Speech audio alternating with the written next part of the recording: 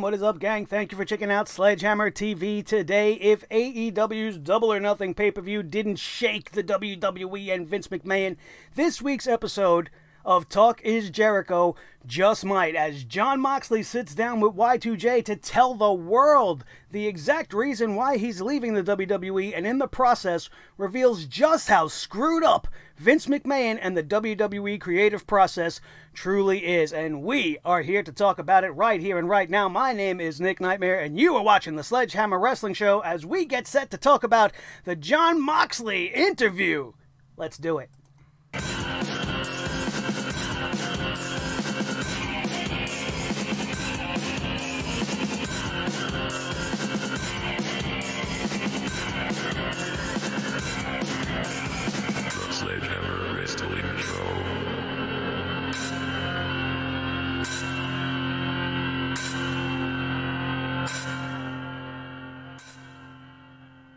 It's almost like over the years like like a physical depression hmm. set sets in.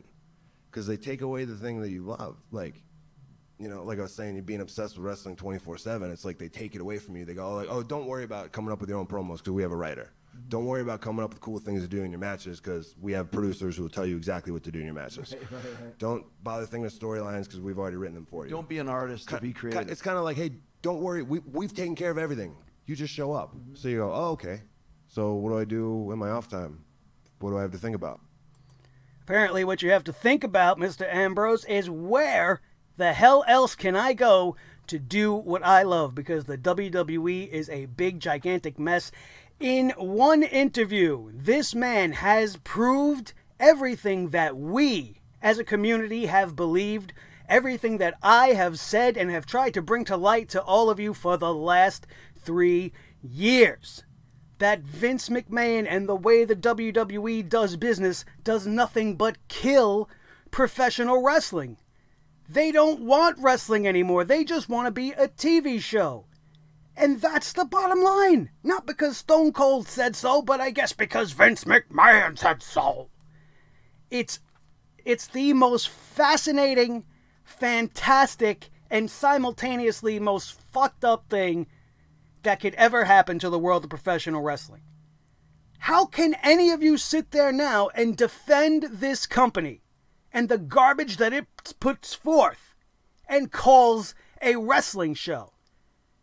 The most telling thing about the Jon Moxley interview, the one thing that stood out to me almost more than anything, was the fact that AEW was a non issue for him. This was not the reason why he left. He had no intentions on coming to AEW. When he made this decision, AEW was not even a thing. He knew he was going to leave the WWE. There was no amount of money they could offer him. He didn't even take a look at the contract that they gave him to try to have him stay with the company.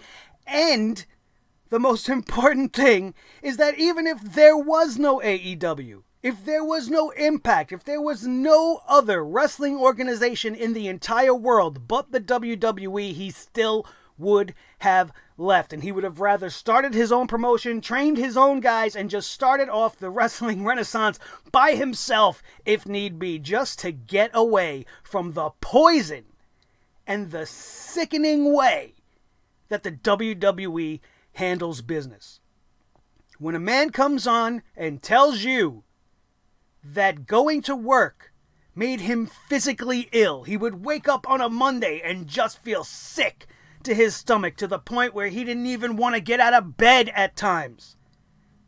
He felt like he was played as a joke. He felt like a fool. Just like us, the things that he was given to do, he felt were ridiculous and made no sense. But like a good employee, he goes out there, he tried to make the best of it. He tried to get it over as much as he could because he's a decent man.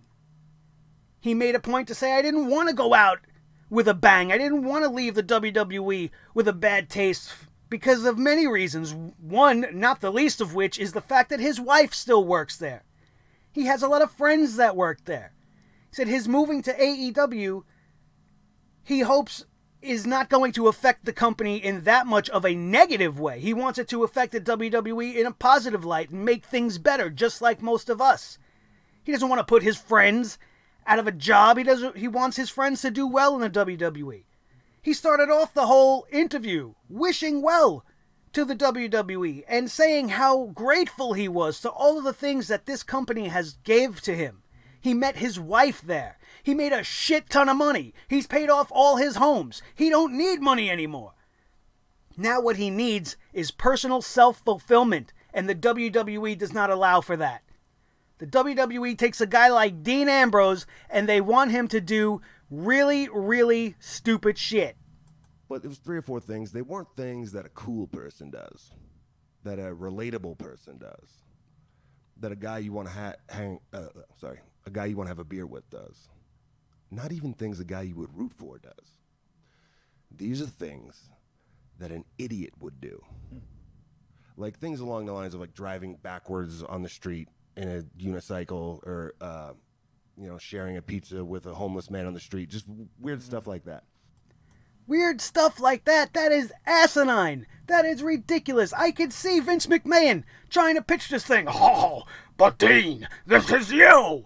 You're a lunatic fringe. Right? You can ride backwards down the street on a unicycle. That's loony. That's zany. That's crazy. It's so Dean. Can you see him fucking doing that? Trying to Jedi mind trick him. He even made a point to mention that as well, that there were many times that he's gone to air his grievances where Vince kind of Jedi mind tricks you into believing that this is the, the best possible scenario and the best possible thing for his show. And he would leave the meetings more often than not saying, if this is what you want on your show, then I'm going to go out and I'm going to do it. But when somebody says that to you, shouldn't you like have a red light go off in the back of your head like, well, why doesn't he think this should be on my show? What's so wrong with this? This company is so fucked up. They went so close to the line on the Roman Reigns cancer thing when he first was diagnosed with cancer, and then they wanted to make it a part of the storyline for Seth Rollins and Dean Ambrose. They were going so far overboard in the writing room with that that Dean Ambrose had to make a stand and be like, I'm not saying that. He truly believes that some of the things that the WWE wanted him to say regarding Roman Reigns and his battle with leukemia would have had sponsors fleeing the company. It would have pissed off Susan G. Komen. Not the least to piss off him personally. How could you make me say this about my friend? It's just awful. He wouldn't reveal exactly what it was that was said. That's how bad it was. What kind of people do you got fucking working in there? What kind of monkeys sitting around making cancer jokes? Or bad taste comments about somebody who's going through a real life thing? That's fucking awful. You want to, everybody's wondering, oh, why Dean Ambrose leave? He was part of the Shield. He was made a big star.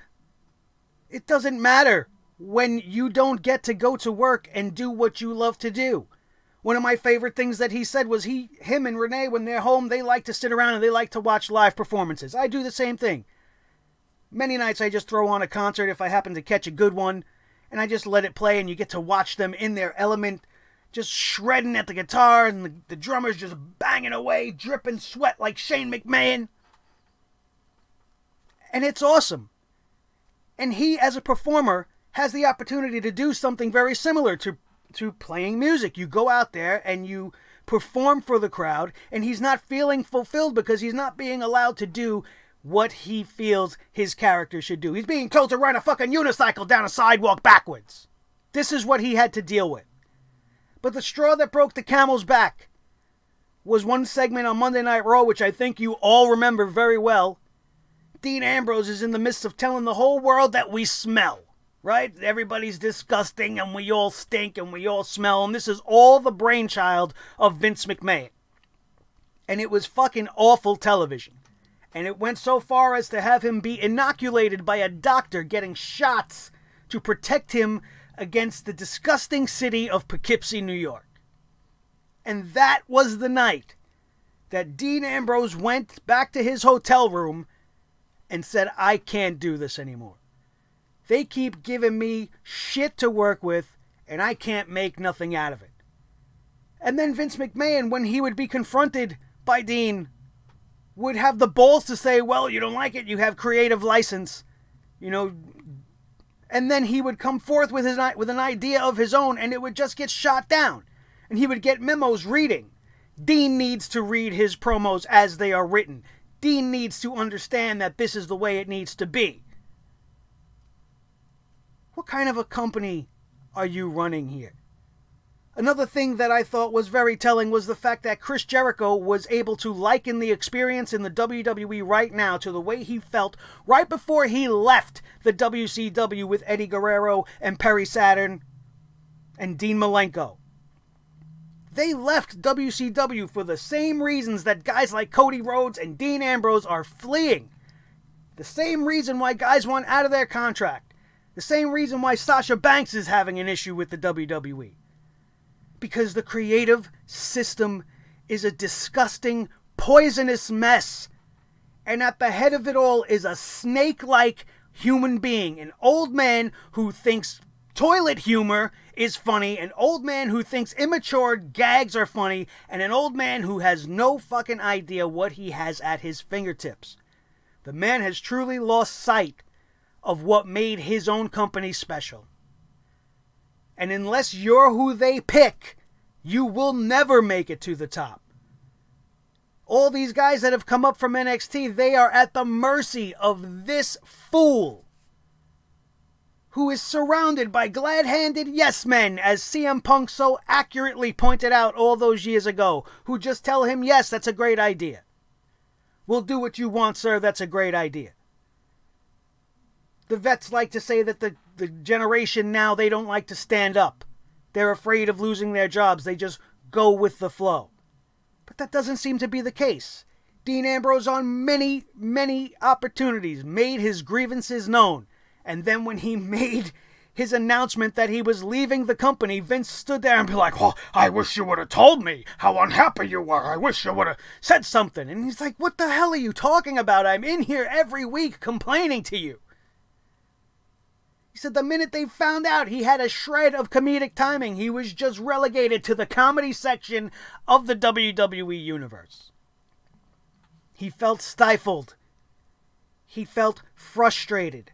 But yet the man had the respect and the dignity to finish his contract like a man. He did the right thing for his family. He didn't want Renee to have a problem, right? But then subsequently you come to this interview and you don't think this is going to ruffle some feathers, bro. just, just throwing that out there. But this is a very significant moment in the history of professional wrestling. Because the WWE has two choices here. They can ignore this and go about business as usual, or they could get pissed off and just in spite of Dean Ambrose's comments and in spite of the way people feel, to maybe turn things around. I don't know, maybe the board of directors will get wind of this interview and want Vince McMahon removed. He is the end all be all. He has majority say in the stock, as far as I believe. So I don't think that's even a real possibility. But if people start to dis to voice their displeasure vocally to this crazy maniac of a man, maybe something can happen. Maybe if it's more than just the wrestlers. Because he looks at the wrestlers like his toys, man. These are just pieces in his puzzle, and he's going to do whatever the fuck he wants. The way Jon Moxley outlined a day in his life, from the minute he would get to Raw, and the fact that he would have to speak to this writer to get this line removed, and then he'd be handed another script, and then there's a whole bunch of other shit that he hated because it was stupid, and then he'd have to go talk to Vince, and then Vince would try to convince him to do it. Vince wouldn't budge, and he would go out there and be forced to do it and he would do it to the best of his ability. And then he would just repeat the same process with every single show. He gives his notice that he's finally going to leave, and they promise him they're not going to bury him. And you want to tell me that whole Nia Jax thing wasn't for them to have a chuckle? Of course it was. The fact that he lost so unceremoniously to EC3, who is now what? Eating in the back during the Usos block, block party. All useless. Everything they did to him was useless. And then when he filmed his final appearance for that Shield, the last stand, or whatever the fuck they called it, they paid this man 500 bucks. Thanks for everything you did. Here's 500 bucks. And according to Jericho and Moxley, that's like what an extra gets. Anybody that you've ever seen in the No Way Jose fucking conga jerk off party. All of the rosebuds. You make an appearance, you get 500 bucks. Boom. That's what Dean Ambrose was worth to them on his last night. And then you wonder why this guy tucked tail and run. He felt creatively just exhausted. He was physically and mentally drained from doing something that he's always wanted to do. And that is the reason why he left. I can't tell you how important this interview actually is. And though I never usually plug anybody else's podcast, this is Y2J we're talking about. And if you haven't heard it, I gave you guys a little bit of a taste. You have to go to Talk is Jericho. Just type it into your search bar. You'll find it somewhere on some streaming podcast service somewhere. Listen to this man, and you will have no choice but to hate Monday Night Raw and SmackDown even more than you may already do. I I can't wait to see what the future brings for Jon Moxley. I can't wait to see what's going to transpire in the WWE as a result of this. I'm actually going to go on record and I'm going to predict nothing. I'm going to predict they're not going to do shit. They should. They have a tremendous amount of egg on their face after this, and they should. But they won't. The best thing about this for me really is just being proven right. I love to be right. I love to to be proven right and even though inside I wanted to be wrong, I wanted to be able to blame other people. I wanted to be able to believe that Vince McMahon wouldn't purposely or just consciously be destroying this beautiful sport that we love from within. He may not be doing it intentionally, but the man has got to go. And where you have to go after watching this is to Talk is Jericho. Listen to this interview, and you will know without a shadow of a doubt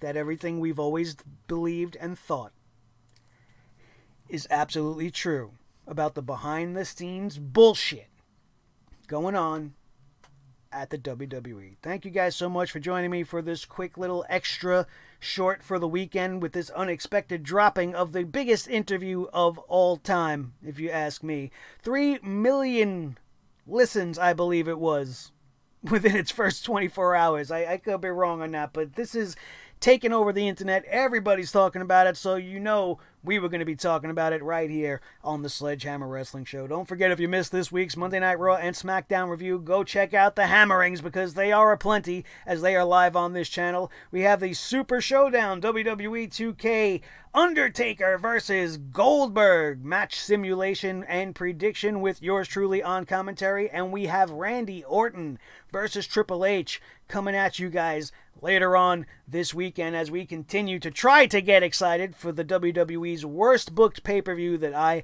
have ever seen. And if you don't want to miss any of that and our upcoming hammering of the Super Showdown, you need to be subscribed right now. Hit that subscribe button and ring that notification bell so that every time an awesome video just like this one drops, you will not miss it. Don't forget to smash that like button if you enjoyed today's episode. If you liked my little clips from Talk is Jericho, my little teasers to get you guys to go over there and listen to it, you can hit that thumbs up. If you like anything I had to say today, you could hit that thumbs up. And you know why else you could hit that thumbs up? Just because as a family here, we are awesome. And then don't forget to share this video with each and every one of your wrestling buddies all over the wrestling world, especially if they would be interested in hearing a little bit of something about the Jon Moxley interview and showing them that this is the place to be when you want your wrestling and entertainment news bullshit free and full of fun and truth and justice. Thank you guys all once again for being with me here. My name is Nic Nightmare. This is the team Thor the Sledgehammer, the official sledgehammer of the Sledgehammer Wrestling Show. His tag team partner, the world heavyweight champion of all the microphones in all the world, Mr. Blue, the Snowball, and the most important member of the team, as always, is each and every one of you. That is going to do it, and we are out of here. And we will see you next time right here on your new favorite wrestling show, the Sledgehammer Wrestling Show, only on Sledgehammer TV, right here on YouTube.com. Moxley, baby. Whew.